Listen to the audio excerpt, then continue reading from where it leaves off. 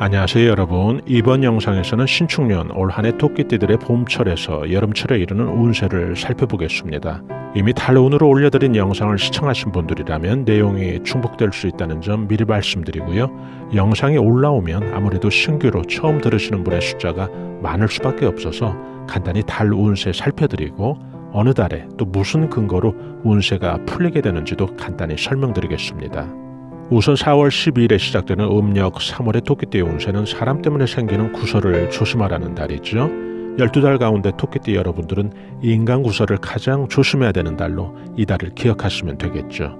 운세 예측을 들으시는 여러분들 입장에서는 이 구설을 조심하라는 그런 운세 예측이 나오면 너무 상투적인 단골 메뉴로 좀 식상하게 들리시지는 않을까 그런 생각도 저는 하게 되는데요. 그럼에도 불구하고 이처럼 구설을 조심해야 되는 그 이유는 충분한데요. 구설이라는 게 좀 심각해져서 관제 구설로 비화되는 경우도 있을 수 있고요.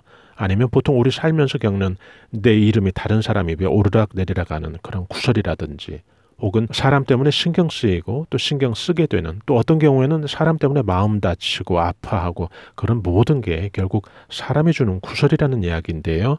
최근 우리 사회에서 한참 구설인 사람이 있죠. 연예인 박수홍 씨와 그 형사에서 소송으로 지금 세간에 많은 이목이 집중되었는데요. 어떻게 보면 구설은 늘 나와 가까운 사람 또 내가 생활에서 관련성을 맺고 있는 그런 인간관계 속에서 발생하는 것도 우리가 다시 한번 타산지석 삼을 만한 그런 이야기인데요. 이 영상을 들으시는 여러분들께서도 이 구설을 최소화하는 그런 운세 전략 잘 참고하시면 도움이 되실 겁니다. 구설이 예측된 달 혹은 여러분들이 살면서 직감적으로 뭔가 좀 찝찝하게 구설이 예견되어지는 그런 인간관계가 있거든요. 또 내 운이 약해서 구설이 좀 취약해지는 그런 달도 있을 수 있고요. 이런 때는 결국 선제적인 그런 대응이 필요한데요.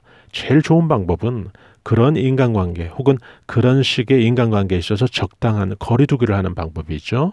어떤 인간관계에 있어서 예를 들어 두 번 볼 일을 한 번 본다든지 만남의 횟수를 좀 줄여본다든지 또 구설이 예측된 시기를 피해서 만나본다든지 또 자신의 의견을 피력하기보다는 상대방의 말을 듣는데 더 시간 할애를 한다든지 이런 방법들이 좋고요. 이렇게 구설이 있는 달이 구설이 무리 없이 넘어간다면 양력 5월 중순부터 시작되는 운세는 상간 유수의 운으로 바뀌는데요. 음력 4월 또 양력 5월의 이 상간유수의 운세라는 것은 막히고 정치되어 있던 그런 운들이 풀리는 영국을 의미하거든요.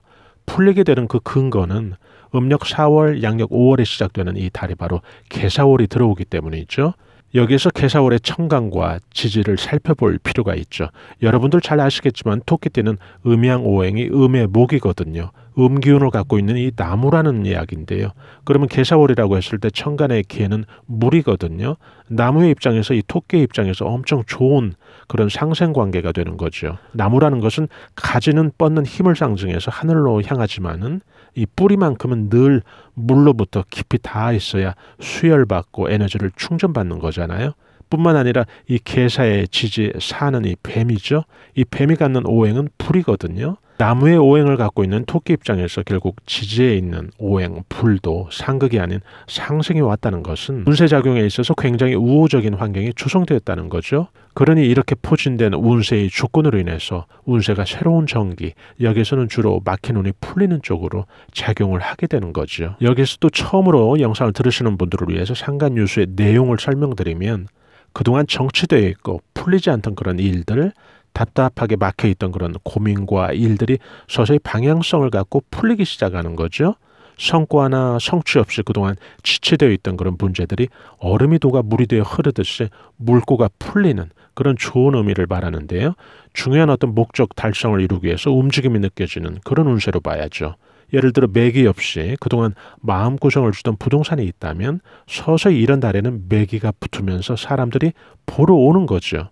물이 흐른다는 것은 이동, 변동, 새로운 출발을 의미하니까요. 좋은 방향으로 새로운 일들이 시작된다고 보시면 되는데요.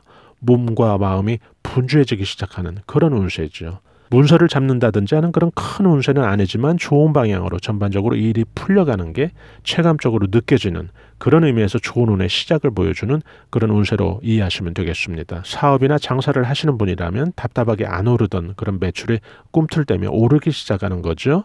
학생 같으면 학업 성취가 그동안 낮았는데 이런 달부터는 점수나 석차가 꿈틀대며 좋아지는 거죠. 반등의 기미를 보여주면서 좋은 방향으로 일들이 풀려지는 거죠. 그 다음 달 음력 5월, 양력 6월의 운 살펴볼까요? 맹인 실장의 운인데요. 다시 조심하면 좋은 그런 달의 운세죠. 신중하고 보 수적으로 운세 전략을 임해야 좋은데요. 재물을 단속해서 손재수가 발생하지 않게 해야죠. 구설도 함께 조심하면 이런 달은 무리 없이 넘어가겠죠. 이런 달은 좀 징검다리처럼 지나가는 운이죠. 그 다음에 오는 달에 에너지를 좀 집중해서 쏟아붓기 위해서 힘을 비축하는 그런 달로 이해하시면 되겠습니다. 앞선 달에서 토끼가 갖고 있는 오행이 목이라고 말씀드렸잖아요. 그런 경우에 상생이 되는 방법이 개사월의 천간 개는 물이기 때문에 나무에게 아낌없이 에너지와 물을 주면서 물과 나무가 상생이 되었다면 개사의 지지인 이 뱀, 사가 의미하는 이 불이라는 오행은 바로 토끼가 갖고 있는 오행 목으로부터 반대로 에너지를 취하면서 서로 상생 관계가 되거든요. 서로 상극이 아니니까 운이나 기운을 뺏긴다고 표현을 할 수는 없지만은 어쨌건 토끼의 오행인 나무의 입장에서 본다면 아낌없이 불에게 주는 그런 영국인 거죠. 그래서 에너지를 충전받는 그런 시간이 필요한 것이고 바로 그 힘을 비축하는 그런 달로 이 달을 이해하시면 되겠습니다. 이렇게 힘을 비축해서 에너지를 충전한 상태니까요. 그 다음에 오는 달들 운세에서 의미 있게 사용되어져야 될 텐데요. 어떤 운이 오는지 좀 관심을 갖고 살펴보죠. 양력 7월이면서 음력 6월에 오는 유화복무의 기란 운세가 나오네요. 유화복무라는 것은 들으신 분들도 계시지만 신규로 또 처음 들으시는 분들을 위해서 설명을 드리면 유화복무의 운세는 울다 울다 지쳐버린 잠들어 있는 아이에게 어머니가 나타나서 젖을 물려주는 운세죠. 배고픈 아이에게 어머니가 나타났으니 얼마나 좋겠습니까? 허기도 면하게 되고 비로소 그 순간의 편안함도 함께 찾는 거죠. 그런데 그 운이 결국 나 스스로의 자력의 운이라기보다는 어머니라고 하는 여기서 어머니는 귀인을 의미하겠죠. 귀인이라고 하는 나 스스로의 힘이 아닌 제3자의 타력과 조력으로 귀인의 도움으로 내 운세가 반전되는 그런 아주 길한 운세를 의미하는 거죠. 귀인이 나에게 도움을 주는 운세인데요. 새로운 귀인을 의미할 수도 있고 혹은 그 전에는 별로 덕이 안 된 사람도 이런 운에는 나에게 도움의 역할이 되는 그런 길한 운세를 의미하죠. 동시에 일의 해결이 뜻한 방향대로 성취되는 그런 운도 함께 의미합니다. 해결과 발전이 되는 거죠. 새로운 어떤 변화가 무색되면서 희망스러운 일들이 발전해 나가는 청춘들은 그래서 이런 달에 결혼 운도 좋을 수가 있고 미혼이신 분들은 귀인의 이성일 수도 있어서 12달 가운데 이성이 생길 수 있는 이성운이 가장 좋은 달로 이해하시면 되겠습니다. 음력 7월이면 양력 8월이 되겠죠. 양력 8월 운 한번 살펴보죠. 쉬어가는 운에서 운기 충전이 아주 잘 되었는지 수륙 천금이라고 하는 12달 운 가운데 금전운과 또 돈의 융통과 흐름이 가장 좋은 그런 달의 운세가 포진되어 있는데요. 수륙 천금의 운세란 손으로 천금을 희롱할 정도로 1년 12달 가운데 목돈 운, 또 돈의 융통과 흐름이 가장 좋은 달이죠. 목돈이 움직인다는 건데요. 부동산 매매로 인한 혹은 이동, 이사를 앞두고 수입, 지출, 또 큰 거래가 발생하면서 내 수중에 목돈이 들어오게 되는 그런 운을 의미하죠. 돈의 규모가 제법 있는 그런 큰 돈이 움직이는 거니까요. 이런 달에는 또 사기를 조심해야 되겠죠. 가장 돈 운이 좋아서 큰 돈이 융통이 된 상태에서 사기를 피하지 못한다면 그 피해나 충격이 얼마나 크겠습니까? 그래서 여러분들도 결국 운세에서 좋은 운세의 이면에는 그래서 우리가 함께 늘 조심하고 주의해야 될 그런 운도 함께 숨어 있다고 이해하시고들 현명하고 신중한 그런 운세 전략을 늘 생각하신다면 참 좋겠죠. 간단하게 여름 운까지 살펴봤는데요. 토끼띠 여러분들 크게 성취하는 그런 한 해 되시기를 바랍니다. 아무리 운세 예측이 좋게 나왔어도 그것이 성취로 이어지지 않는다면 그건 또 우리가 바라는 바가 아닐 텐데요. 분발하셔서 의미 있는 하루하루 되신다면 참 좋겠습니다. 저희 감성수차 TV에서는 무료로 중년들을 위한 각종 알찬 고급 정보를 실시간 제공해드리고 있죠. 좋아요, 구독으로 편리하게 무료로 저희 채널의 다양한 정보와 서비스를 받아보실 수 있는데요. 저희는 다음에 더 나은 영상으로 여러분들 다시 찾아뵙겠습니다. 대단히 감사합니다. 여러분 안녕히 계세요.